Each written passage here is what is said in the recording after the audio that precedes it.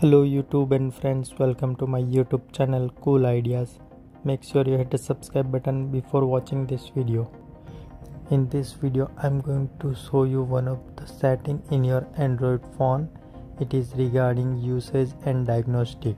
So with that setting, Google will save your information like battery level, system error or any app activity google will save your data. Based on that they will try to improve the android phone performance. So if you want to turn off that setting then follow the video. So here is my android phone. And if you swipe your phone with a double finger from top then you will see this menu.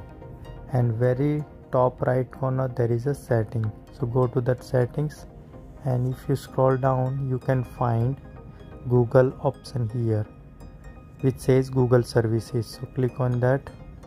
And there is a top right corner three dot.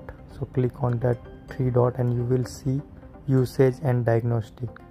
So here you can see this is a general information about your device and how you use it such as battery level system and app activity and errors the data will be used to improve android devices and other information will also help google apps and partner. So like that. So if you want to turn off then just click on this toggle button and that's it. That's how you can